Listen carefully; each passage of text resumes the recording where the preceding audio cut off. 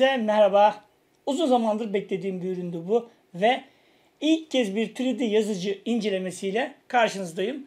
Ben Özgür Çetin, kişisel YouTube kanalındasınız şu anda. Teknolojiyle ilgili farklı farklı videolar çekiyorum. Bunlardan bir tanesi de işte hemen yanımda görmüş olduğunuz Creality'nin Ender 3 V2 yazıcısı oluyor. Şimdi ben uzun zamandır aslında bu tarz bir ürün heyecanla bekliyordum. Onu mu alayım, bunu mu alayım, şunu mu kullanayım falan derken bugüne kısmetmiş arkadaşlar ve e, Ender'in, Creality'nin daha doğrusu Ender serisinin 3 V2 yani ikinci sürümünü almış oldum. Şimdi baştan şunu söyleyeyim arkadaşlar. 3D yazıcı konusunda çok uzman değilim ben. Tamam teknolojiyle ilgileniyorum ama 3D yazıcı alanı başka bir alan ve e, deniz derya bir iş. Yani girmeye kalktığımız zaman saatlerce konuşuruz, saatlerce anlatırız. Benim uzmanlık alanım değil ama yavaş yavaş öğreneyim hem de bir tecrübe kazanmak için böyle bir ürün almaya karar vermiştim. Uzun zamandır da araştırıyordum. Ucuzları var, pahalıları var. Genelde bu sektörde Çin merkezli markalar e, daha çok ağırlıklı bu tarz ürünler üretiyorlar. Creality'de 3D yazıcı alanında dünya genelinde en yaygın kullanılan marka. Ben de araştırdım, soruşturdum. Hangisini alayım, bu mu iyi, şu mu iyi derken başlangıç seviyesinde olarak gördüğüm ki daha farklı modelleri de var ama hani Creality'nin Ender ailesinin başlangıç seviyesi aslında bu ürünle başlıyor diye söyleyebilirim. 3 V2 modelini almaya karar verdim. Şimdi V2 deyince insanın aklına tabii şu geliyor. Birinci sürümle aralarında ne gibi farklar var? Aslında epey farklar var. Baya bir e, Creality bazı önemli güncellemeler yapmış ve hani birinci sürümde olmayan ve kullanıcıların hani şunu güncelleseniz güzel olur, şunu böyle yapsanız güzel olur dediği her şeyi aslında toparlamış. Şöyle söylemem gerekirse ne gibi farklılıklar var? Bir kere öncelikle sessiz TMC 2208 step sürücülerle güncellenmiş bir anakartımız var. Kullanım kolaylığı sağlayan bir arayüz güncellemesi gelmiş. Daha stabil baskılar için geliştirilmiş bir iskelet yapısı var. Karşımda çıkıyor. X ve Y kayış gergisi geliştirilerek daha hızlı baskıların alınması sağlanmış. Filament beslemesi artık daha kolay bir hale gelmiş. Korbarandum kaplama cam tablo gelmiş. Öncekinde tablomuz cam değildi. Bunda cam tablo var. Yenilenmiş ve daha büyütülmüş bir ekranımız var. Güç ünitesi makinenin altında konumlandırılmış. Bir de elektrik kesintilerinde cihaz elektrik geldiğinde kaldığı yerden e, baskı devam edebilme özelliği de gelmiş. Şimdi yapılan iyileştirmelere ek olarak şunu da söyleyebiliriz. Diğer sürüme oranla çok daha hızlı şekilde baskıya hazır hale gelebiliyor. Hot end ve yatağın hızlı bir şekilde ısınması sayesinde oluyor bu. Yani daha hızlı bir şekilde baskıya hazır hale geliyor bu yeni yazıcı. Şimdi aklınıza şu takılı olabilir. Kurulumu nasıl? İlk olarak cihazın yarı demonte olduğundan bahsetmek isterim. Öncelikle şunu söyleyeyim. Kurulumu çok zor değil ama çok kolay da değil. Birazcık anlıyor olmanız lazım bu işlerden. Bu işlerden derken el yatkınlığından bahsediyorum. Hani böyle ufak tefek şeyler halledebilen bir e, becerikliğiniz varsa bu ürünü yapmanız çok zor değil. Ama kutusundan kitapçık falan çıkıyor. Orada da anlatıyor aslında. Fakat ben oradan çok anlayamadım açık söylemek gerekirse. Ne yaptım? Creality'nin YouTube kanalı var. Oraya girdim ve bu ürünün kurulum videosu var. Çok da güzel anlatıyor. Açıklama kısmına koyarım onu. Bu ürünü alırsanız orada nasıl yapılacağını anlatıyor. Yaklaşık 30 ila 45 dakikası sürüyor. Sadece şu alttaki e, tabla dediğimiz tablanın olduğu yer e, monte olarak geliyor.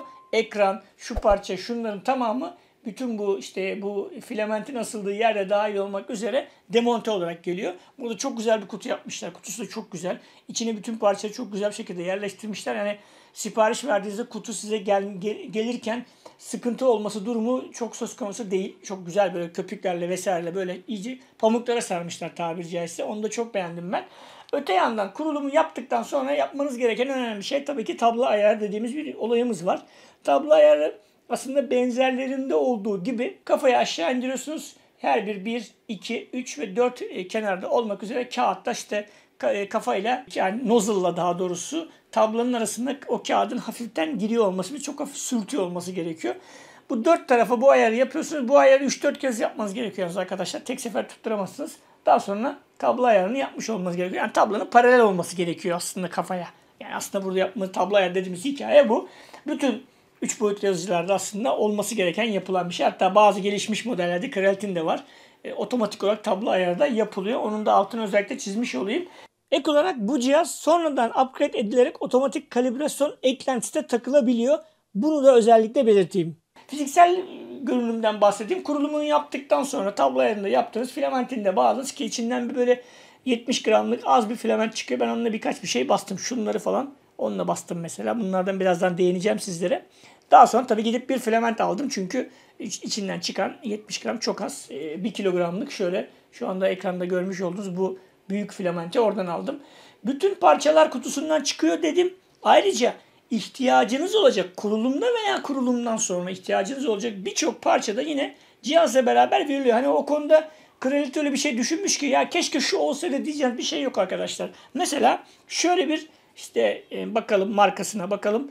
E, Netak diye bir markanın micro SD kart okuyucusu kartı var daha doğrusu. Neden? Onu birazdan söyleyeceğim ama kutusundan çıkıyor. Daha sonra şurada bir çekmecesi var. Fiziksel özelliklerinden aslında biraz da bahsediyoruz. Bu çekmeceye böyle kutusundan çıkan işte alyandı, vidaydı, tornavidaydı, şuydu, buydu, kafaydı. İşte mesela diyelim ki bilgisayarınızda kart okuyucu yok. Böyle bir e, micro SD kart okuyucu USB dönüştürücü de var. İşte vidalar, şunlar, bunlar hepsi için böyle güzel bir çekmece var. Hatta şöyle bir spatula çıkıyor. Standart olarak şöyle de bir yan keskimiz çıkıyor. Bununla da böyle işte parçaları temizlemeniz ya da şuradan kaldırmanız gibi işlemleri yapıyorsunuz. Böyle kutuda her şeyin çıkmasını ben beğendim. Şu çekmece çok kullanışlı. Gerçekten çok kullanışlı. Çünkü hani bunları şimdi koyacaksınız bir yere. Hayda nereye koydun, nasıl koydun, bulabildin mi? Ara babam ara. Ondan sonra uğraşacaksınız. Halbuki burada çekmeceye koyuyorsunuz. Ben hep öyle yapıyorum mesela. Böyle çekmeceye koyuyorum. Kapatıyorum. Bitti gitti. Süper. Süper. Bunu çok beğendim ben. E, Creality'nin diğer modellerinde de artık yavaş yavaş standart haline geldi bu. E, bu arada e, biliyorsunuz bilmeyenler için söyleyeyim. Bilenler zaten biliyordur da 3D yazı dediğimiz şey aslında PLA dediğimiz polilaktik asit e, ve biyo, biyolojik plastik olarak da geçiyor bu ürünler. Polilaktik asit dediğimiz filament e, baskısı yapan farklı farklı türlerde de baskı alabiliyor bu arada. Onları teknik özellikle söyleyeceğim. Ve 3 eksende hareket edebilen X ve Y ve Z ekseninde tablamız ileri geri oynayabiliyor şu şekilde. E, kafamızda böyle sağa sola oynayabiliyor. Aynı zamanda yukarı aşağıda bir hareket yapıyor şu anda. Yapmayayım ben çünkü e, zarar görebilir motorları. Bu şekilde tabaka tabaka, katman katman baskı yapan tüm bu şu anda görmüş olduğunuz bu ürünleri bunların detaylarını da koyacağım. Basan bir mekanizma söz konusu. Ekranda bir tablo görüyorsunuz. Tabloda teknik özellikleri size veriyorum. Creality Ender 3 V2 3D yazıcı FMD teknolojisini kullanıyor. 220, 220, 250 milimetrelik bir baskı alanımız var. 0.4 milimetre nozul çapımız var. 1.75 milimetrelik PLA filament kullanabilme özelliği bulunuyor. Sessiz TMC 2208 step sürücüler donatılmış. 7.8 kilogram ağırlığımız var. Cura Simplify 3D yazılımlarını kullanabiliyor. Micro SD kart yuvamız var. Şimdi gelelim kullanım deneyimine. Birçoğumuzun merak ettiği bir şeydir bu muhtemelen. Ben de çok merak ediyordum. Yani teknolojiye ilgilenen biri olarak söylediğim gibi videonun başında ben bugüne kadar hiç 3D yazıcı kullanmadım ama heveslisiydim yani. Arkadaşlarım da vardı. Sağ olsun hatta Kayhan burada selam olsun onunla. Çok benim kahrımı çekmiştir. Abi şunu bana bastana, abi bunu bastana falan diye bayağı kafasını ütülemiştim. Ee, geçen hatta söyledim ona artık dedim Kayhan kafanı ütülemeyeceğim. Basılacak bir şey varsa da çekinme söyle dedim. Öyle bir espri yaptık. Ne yapılabilir? Şimdi şöyle tabii ki ilk heves aldığınızda böyle daha çok figür basmak çeşitli karakterler, Star Wars karakteri olur, Marvel karakteri olur, başka karakterler olur. İnsanlar figürle başlıyorlar. Tabii ki daha sonra daha kompleks şeylere doğru yöneliyorsunuz. Yani sadece mesele bir hani tek sabit şöyle bir şey. Yani bu kalemlik mesela bir kalemlik basmak değil ya da bir desktop organizer diye geçiyor. Masaüstü organizeri. Bunu basmak değil mesela. Böyle bir şeyi basabiliyorsunuz. E bir süre sonra daha kompleks şeylere yönelebiliyorsunuz. Yani elektronikle işte bu 3D baskının birleştiği ne bileyim telefonunuz için kablosuz şarj istasyonu, akıllı saatiniz için şarj istasyonu falan yapmak gibi. Yani hem onun e, elektronik parçalarıyla bu parçaları birleştireceğiniz çözümleri yapabiliyorsunuz. Yani aslında yapacaklarınız biraz hayal gücünüzle, biraz ihtiyaçlarınızla, biraz beklentilerinizle ilintili. Dünyada bir maker dediğimiz yani bir şeyler üreten bir maker kültürü vardır. O kültürün aslında en önemli araçlarından bir tanesi de bu ürünler. E, baskı nasıl alınıyor? Bak ben mesela bilmediğim bir konuydu bu. E, ben de bir şekilde öğrenmiş oldum bu işlere girdiğim zaman. Şimdi baskı şöyle alınmıyor arkadaşlar. Mesela bilin ki Windows'lu bir bilgisayarınız var ya da Mac'li bilgisayara girdiniz bir dokümanı Ctrl P yapıp yazıcıya gönderip baskı alabiliyorsunuz. Bu ürünlerde öyle değil. Öncelikle basmak istediğiniz dokümanın 3 boyutlu dosyasına ihtiyacınız var. Yani şöyle bir şey olmuyor. Diyelim ki benim şu parçam kırıldı. Aa ben buraya bir parça yapacağım. Hemen bunu alayım yapayım baskısını alayım diye bir şey söz konusu değil. Ha, bunu yapan sistemler, yöntemler, çeşitli çözümler var. Ama onları bilmiyorsanız ki birazcık ileri seviyede bilgi gerektiriyor. Böyle bir şey söz konusu değil. Yani öncelikle şu birinci konu şu. Basacağınız şeyin dokümanı elinizde olmalı. Yoksa siz kendiniz üretmek zorundasınız. Olabilir kendiniz de üretebilirsiniz. Bunu iPad için uygulamalar var, Windows için uygulamalar var, Mac için uygulamalar var, yazılımlar var. Bunlarla beraber siz bir üç boyutlu e, dosya oluşturabilirsiniz. Bir şey, bir, bir, bir, herhangi bir şey. Şöyle bir mesela bu bir kalemlik birisi yapmış bunu. Peki siz bunlardan anlamıyorsunuz diyelim. Anlamıyorsanız yapacağınız şey şu thingiverse.com gibi bunun 4-5 tane böyle dünya çapında bu tarz site var. Bunların bir çoğunluğu ücretsiz. Kimisi üyelik istiyor, kimisi para da isteyebiliyor. Bazı insanlar hani ücret karşılığı dokümanlarını paylaşabiliyor. Siteler var. O sitelerden o dokümanları indirip de baskı alabiliyorsunuz. Diyelim ki dokümanı buldunuz. Thingiverse çoğu zaman ücretsizdir mesela onu söyleyelim. Dokümanı buldunuz, indirdiniz. Genelde dokümanlar STL dediğimiz bir formatta oluyor. Farklı formatlar da var ama en yaygın kullanılan format STL uzantılı format. Bunu Jura ya da Creative'nin kendi slice isimli bir yazılım var ki o da Jura tabanlı bir yazılım. İçine atmanız gerekiyor. Şimdi tabi o taraf ayrı bir derya ve oraya girmeye kalkarsak sabaha kadar anlatırız. O da çok uzun bir derya. O yüzden onun çok detayına girmeyeceğim ama Jura'da da belli ayarlar yapıyorsunuz. Yazıcıyı seçiyorsunuz. Yazıcınızı göstermenizi, tanıtmanız gerekiyor. Yani ben bu yazıcıda basacağım mı söylemeniz gerekiyor Jura'ya veya işte Creative Slicer'a. Daha sonra oradan ayarları yapıp başka bir formata çeviriyor. O formatı da bu bellek kartına aktarıp yani farklı bir bellek kartı da olabilir. Cihazın bellek kartı okuyucu yuvasını oraya taktığınız zaman e, ekrandan bahsettiğiniz zaman basıyor. Bu arada ekran demişken ekrandan da biraz bahsetmek istiyorum. Ekran e, geliştirilmiş. Daha önceki daha bir yassı ve küçük bir ekrandı bir önceki sürümde. Bu sürümde yani V2 sürümünde e, Ender 3 V2 sürümünde ise daha dikey bir ekran yapılmış. Yalnız şöyle bir durum var. Şimdi bir taraftan da ben açayım cihazımı şu an kapalı da sesini de duyun diye söylüyorum. Çok çok gürültülü değil bu arada. Sessiz motorlar kullanılmış bir önceki sürüme göre. Şu an açtık. Hafif bir sinek vızıltısı gibi bir ses var. Ekranın ortasında büyük bir düğme var. O düğme ile kullanıyorsunuz. Yani dokunmatik gibi zannediyorsunuz bu ekran ama dokunmatik değil ekran. Düğmenin ortasına basabiliyorsunuz. Seçimlerinizde bu düğmenin ortasına basarak gerçekleştiriyorsunuz. İşte print dediğiniz zaman eğer e, bellek kartınızda basılabilir bir doküman varsa buradan basıyorsunuz. Print sırasında yani baskı sırasında da işte baskı hızını değiştirmek, ısıyı değiştirmek ya da işte durdurmak, iptal etmek, ara vermek gibi şeyler yapabiliyorsunuz. Kaç saat sonra e, biteceğini 3 aşağı 5 yukarı gösteriyor bu arada ekranda. Fena da değil. Doğru gösteriyor genelde onu söylemiş olayım. E, ve elde ettiğim sonuçlar da bu şekilde oldu. Mesela ben burada şöyle bir şey bastık. Bu arada bu boyanmış hali bu. Bu da beyazdı.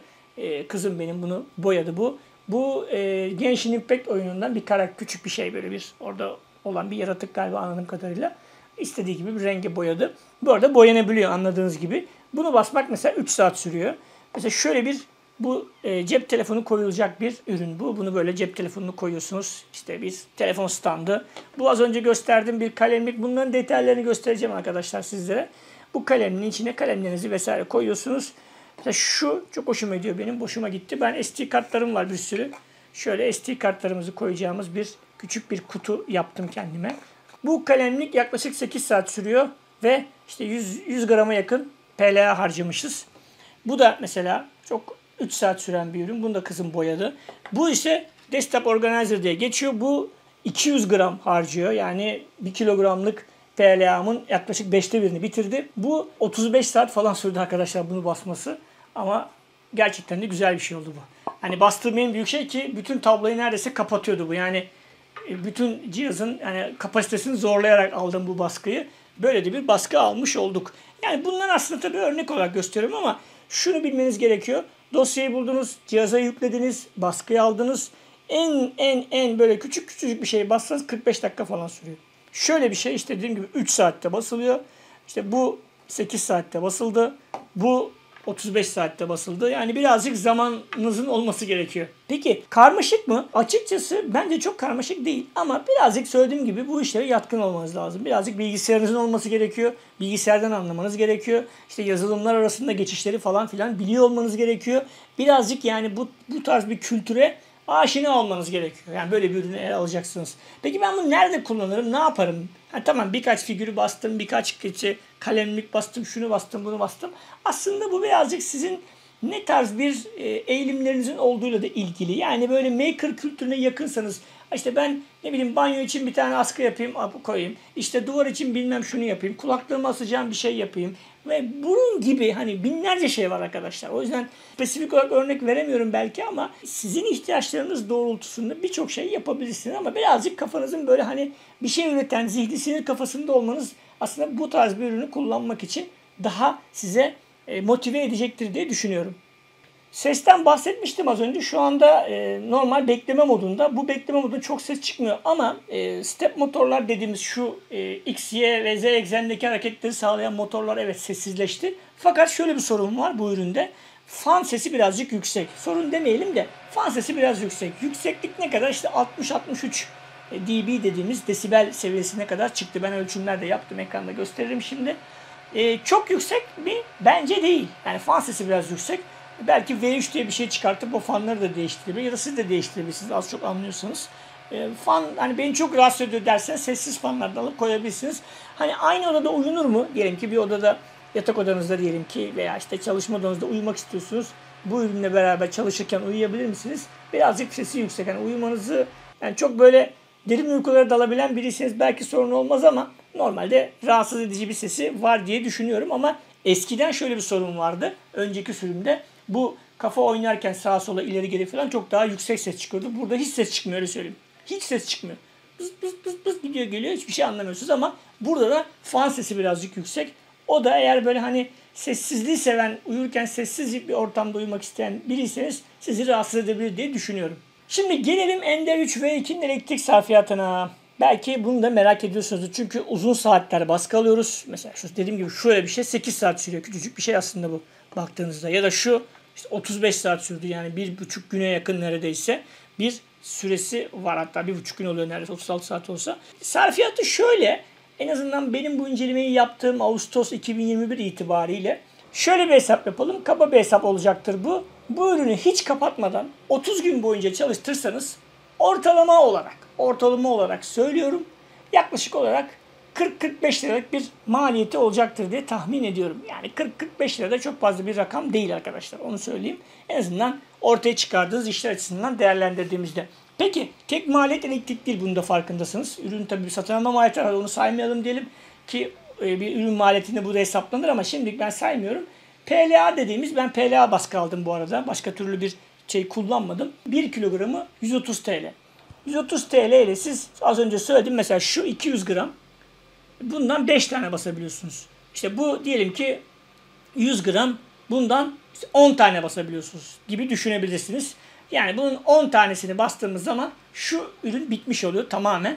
Ee, ona göre kendiniz de bir hesap yapabilirsiniz. Yani kaç gram olduğunu da zaten bu arada slicer size dilimlerken söylüyor. İşte şu kadar saat sürecek. Yazılımdan bahsediyorum bilgisayardaki bu arada. Şu kadar saat sürecek. Şu kadar gramda e, malzeme kullanılacak diyor. Size kabaca bir değer de vermiş oluyor. İki tip maliyetimiz var. Bir ürün satın alma maliyeti. Onu tabii ki yıllara yaymamız gerekiyor. Bir elektrik sarfiyatı. PLA basacaksanız da 130 TL kilogram başına bir maliyet söz konusu. Çok maliyetli değil onu söyleyebilirim. Yani böyle hani cüzdanınızı zorlayacak, cebinizi zorlayacak. Yani kullanım maliyetleri çok yüksek değil. Öte yandan ben bu ürünü satın alırken farklı farklı kanallardan alınabildiğini gördüm. Ama benim kişisel önerim Edata isimli bir marka var. Bu marka bu ürünün Türkiye distribütörü arkadaşlar. Çünkü oradan aldığınız zaman 2 sene garantisi oluyor arkadaşlar bu ürünün. Diğer e, farklı distribütörlerde veya yurt dışından getirip satanlarda bu süre 1 sene olduğunu özellikle hatırlatmış olayım. Evet bu videoda sizlere arkadaşlar Ender 3 V2 3D yazıcıyı anlatmaya çalıştım. Bu bu alandaki benim ilk videomdu. E, eksiklerim olabilir, hatalarım olabilir. E ama şunun ipucunu vereyim, şunun daha doğrusu müjdesini vereyim. Önümüzdeki günlerde bu videoların devamı gelecek arkadaşlar. Bir videoda yazılımını anlatacağım, bir videoda daha kompleks bir çalışma yapacağım, nasıl yaptığımı anlatacağım. Bir videoda belki cihazın farklı özelliklerinden bahsedeceğim. Ama şunu söyleyeyim, bu, e, bu ürünle beraber artık ben yeni bir döneme başlıyorum ve kanalımda düzenli olarak 3 boyutlu yazıcılarla ilgili içerikler bulacaksınız. Sizin de bu konuyla ilgili merak ettiğiniz olabilir, benim anlatmayı unuttuğum olabilir ki mutlaka unutmuşumdur onu söyleyeyim. Yorum olarak yazmaktan çekinmeyin. Hepsini okuyorum, değerlendiriyorum. Anladığım bildiklerimi mutlaka ve mutlaka yanıtlamaya çalışıyorum arkadaşlar. YouTube kanalıma abone olmayı ve beni aynı zamanda Instagram, Twitter, Facebook gibi sosyal ağda takip etmeyi unutmayın. Farklı videoda görüşmek üzere, hoşçakalın.